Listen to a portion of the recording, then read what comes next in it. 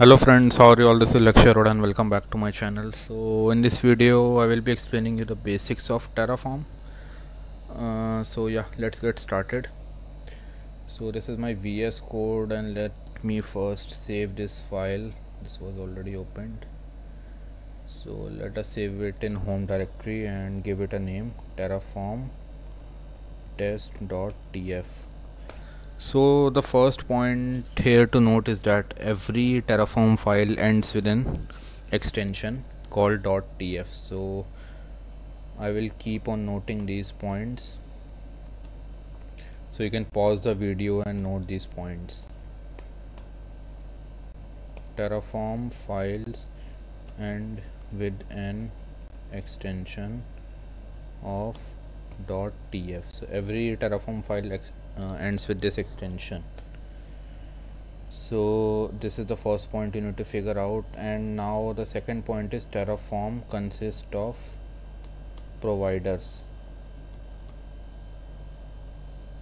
So terraform if i give you a one liner terraform is used to provision resources. It is a infrastructure as a code tool uh, which is used to provision resources infrastructure as code tool used to provision resources where you can provision resources on any cloud provider like Azure, AWS, GCP. So to provision that resources to help Terraform to uh, provision that resources on Azure, AWS or GCP, Terraform makes use of providers so just like if for example if we need to uh, provision a resource on azure then we use use azure rm provider. Similarly for aws we use aws provider and similarly for gcp so in this video i'm not going to explain you the theoretical part that you can very well uh, do it from google and the terraform documents. I will be just giving you a basic idea and then move on to the basic coding part. So these these are the points and let me switch to terraform documentation azure resource group. Terraform. So terraform documentation is very good. You can just follow that documentation and start learning terraform. Because the, this is a type of coding only you can consider and nobody can learn coding by watching a single video. I can give you a brief idea and the approach and then you need to follow that approach because reading documentation is often very hectic and people get bored. So that's why i'm making this video. So these are the points and i will keep on noting the other points if i have in this uh, notepad vs code. So as i told you terraform makes use of providers. It is an infrastructure as code tool which makes use of providers. So Azure RM, AWS are the providers. Since I am right now provisioning a resource on Azure, so I will be using Azure RM provider. You can see on the left hand side. So I just need to use this provider.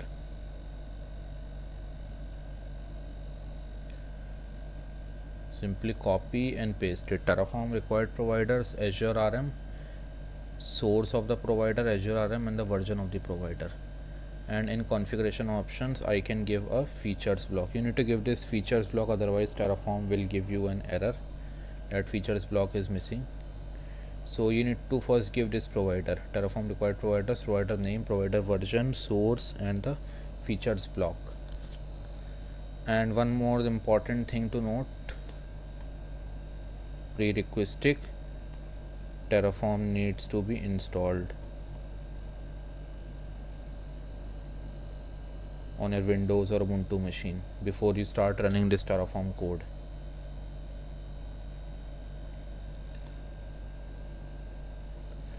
Now what we need to do so I'm going to explain like give you a basic idea.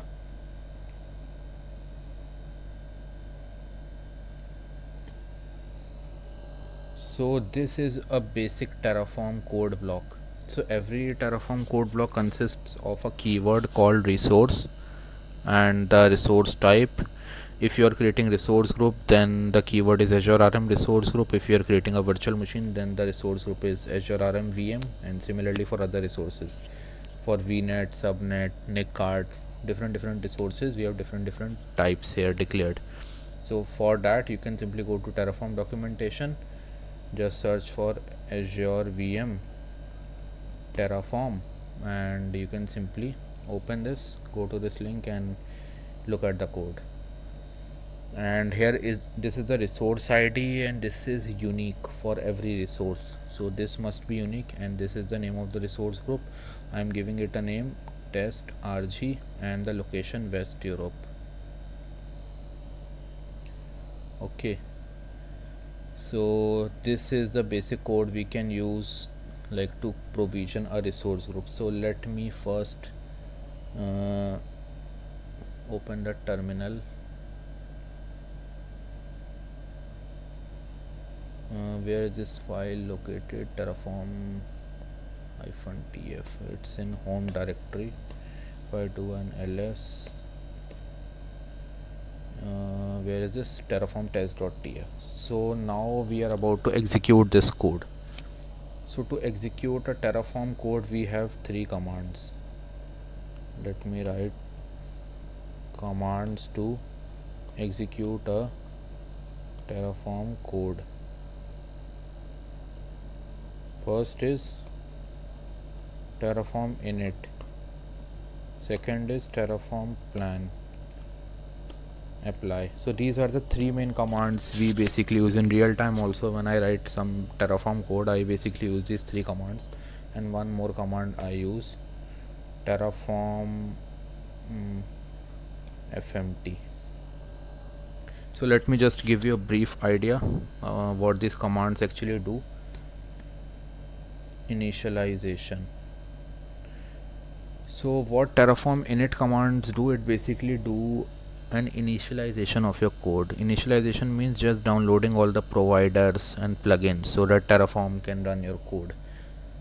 And then comes terraform plan it basically generates an execution plan of the terraform code. Execution plan means so terraform wants to know what resources it needs to create what resources it needs to destroy.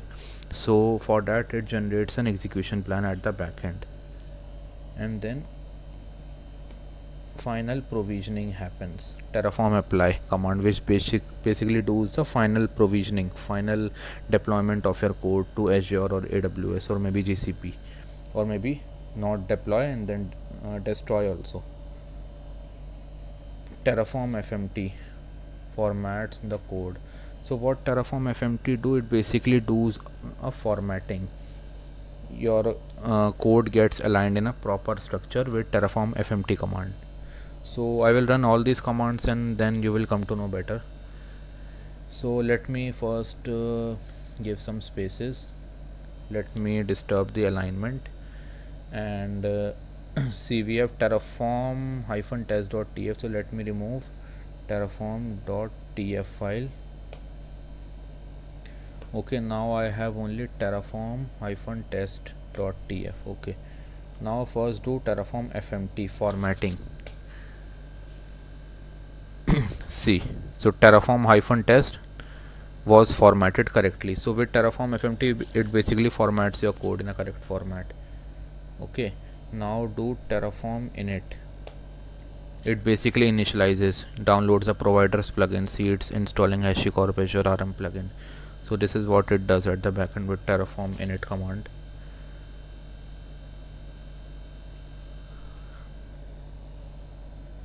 so terraform has been successfully initialized. You may now begin working with the terraform. Try running terraform plan to see any changes. So now we need to run terraform plan to generate the execution plan. Terraform plan. Sorry. So uh, at the backend it will generate the execution plan. So all these basically information is stored in terraform.tf state files so if you go to terraform documentation and look at the terraform.tf state file so they have a very good explanation and you can see what is terraform.tf state file. So terraform.tf state file i will give you a basic idea. What is terraform.tf state? So it basically stores the current configuration state. So terraform.tf states file basically stores the current configuration state. So terraform basically looks into that file every time and then it comes to know that terraform needs to create this this particular resources. So it contains all the configuration so till now we have run terraform fmt which is formatting terraform init which is initialization terraform plan which is execution and now it's time to run time to run terraform apply. So let me run terraform apply but uh, i will not be running this terraform apply command in this video because unfortunately my azure subscription is disabled. So i will not be able to deploy. Sorry for that. I will be renewing my azure subscription maybe in a couple of days. So let me show you like uh, terraform apply when I run terraform apply? It will ask for my confirmation.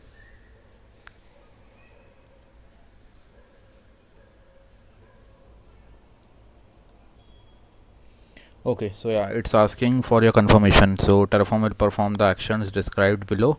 Only yes will be accepted to approve. So if you need to enter yes then only it will be approved. I am putting control c when you are doing in your own system you can type yes and press enter. Um, why I'm doing control C? Because as I told you my Azure subscription is currently disabled so I'm not able to deploy this.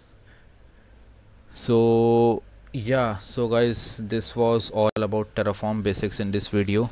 If I just give a sum uh, summarization so what I have done basically starting first you need to install terraform in your system and then you need to create files uh, with the extension .tf files and uh, so terraform consists of providers azure rm aws gcp provider.